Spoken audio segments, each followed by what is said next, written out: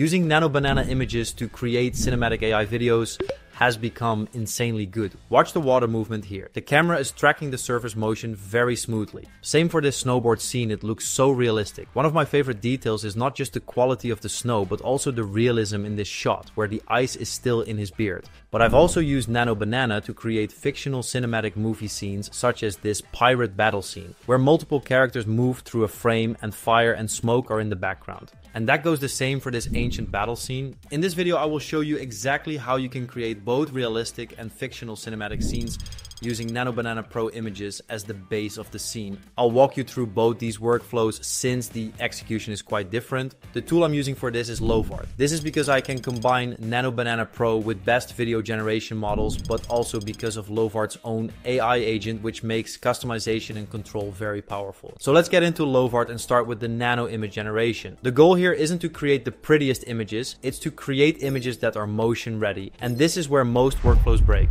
Here's the difference. If you generate generate an image of a surfer standing still on a beach and then ask the video model to animate him surfing a wave, the model has to invent a new pose, a new environment, and new motion. That's three layers of hallucination. The output will look unstable. But if you generate an image of a surfer already in the water, holding the board with the camera positioned behind him, the video model only has to do one thing add motion. This is how you write the image description. Speak in ideas, not technical instructions. Describe the moment like a scene description. Keep it short. You want the agent and the model to handle cinematic lighting and composition. So for the surf video, I started on the Lovart home screen and wrote a short scene description. A cinematic film frame at ocean water level with a male surfer in the water holding his surfboard while swimming forward. Then I selected Nano Banana Pro from the image section and clicked create. Once the image was generated, I clicked on it. This makes it available inside the agent as an ingredient. That's the key step. You're locking the image as the foundation of the scene. Only move forward once the image feels like a real movie frame.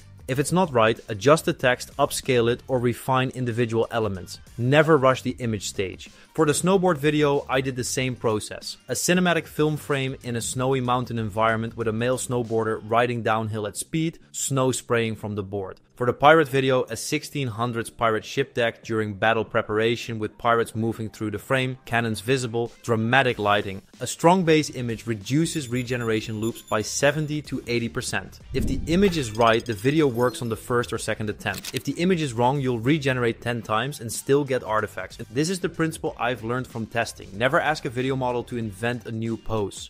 If the action changes, generate a new image.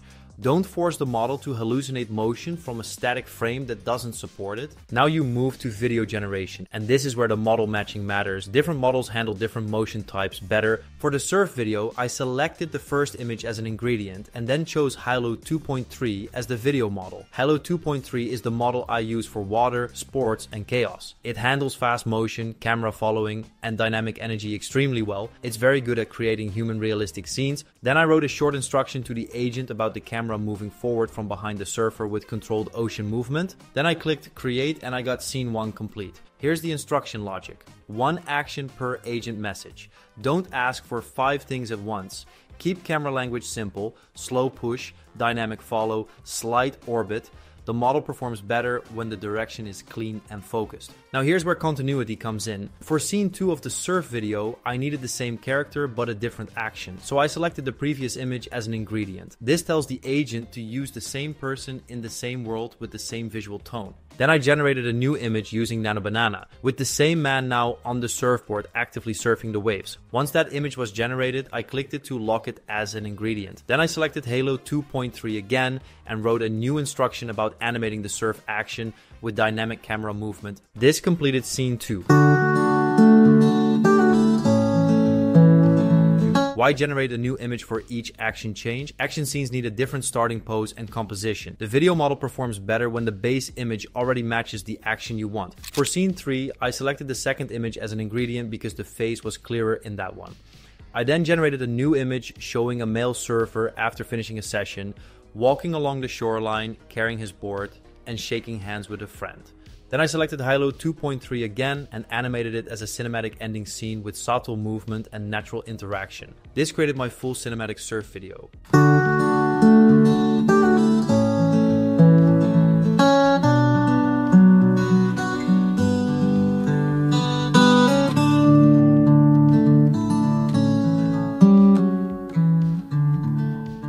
Before I show you the fictional cinematic workflow, let me quickly walk you through what I did for the snowboard video. Even though most of it was similar to the surf video, I did make a few model changes. To create scene 1 and 2, I used the same exact workflow which created these two scenes, but for scene 3, I did something differently.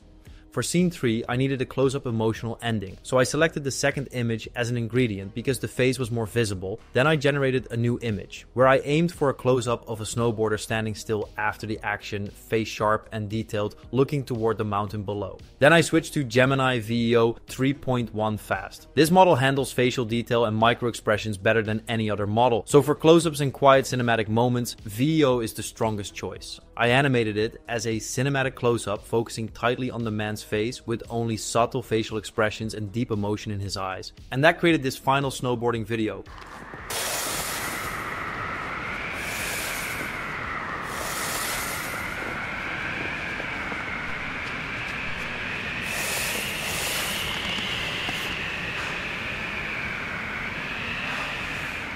Now let's get into the fictional workflow. And as you can see, the pirate video is a bit more complex. It includes multiple characters, crowd movement, chaotic action, fire, smoke, cannons, and in some scenes shouting and sound effects. For scene 1 I generated the deck chaos image using Nano Banana Pro. Then I selected Wan 2.5 as the video model. I chose Wan 2.5 because it performs well on sound effects and vocal energy. It works well for chaotic moving through the environment action. I then animated it with a dynamic camera moving through pirates preparing for battle with readable chaos and shouting energy. This completed scene 1. For scene 2 I selected the first image as an ingredient to keep continuity. Then I generated a close-up captain moment using using Nano Banana Pro, then I selected Kling 2.6 as the video model. Kling 2.6 is strong for cinematic action beats with character presence. It works well with pushing camera movement and battle atmosphere. So I animated the captain moving with intensity, shouting orders as the camera pushes in. Now for scene 3, I intentionally created a new base frame without using an ingredient. This is a new scale. Having a full battle of chaos, flames, cannon fire, it's often easier to generate a powerful wide shot cleanly as its own scene. I generated the full full battle image using Nano Banana Pro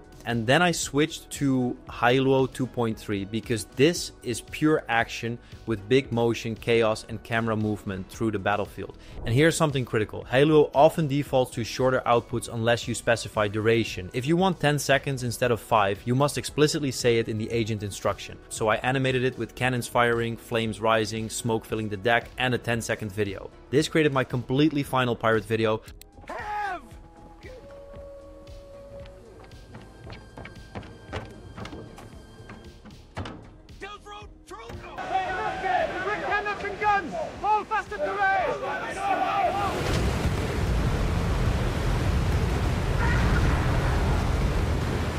I think it absolutely looks amazing, and I also used the same workflow to create this battlefield scene. For glory!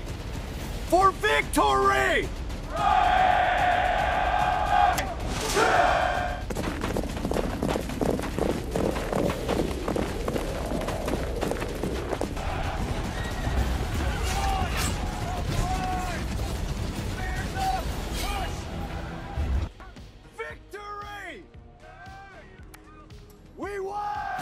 If you want to use Lovart yourself, you can find the link in the description. The power you now have once you have your creative ideas is insane. Everything you saw in this video was generated using this exact workflow. If your videos still look fake, the issue is upstream, fix the image, match the model, or simplify the instruction. The difference between this and random prompting is control. With random prompting, you hope for a good result. With this workflow, you expect it. One strong image saves multiple video generations. If you start with the right frame, you don't need to regenerate five times. You generate once, maybe twice and move on. Lovart enables this workflow because it gives you ingredient logic, agent-based direction, and access to multiple models in one environment. You're not managing exports or switching platforms, you're directing scenes. If you want to replicate this process, follow along inside Lovart. The link is in the description. Start with one scene, lock the image, match the model, add sound, then build the next scene. You don't need better prompts, you need better decisions. Cinematic quality isn't generated, it's directed. Thanks for watching and I'll see you in the next video.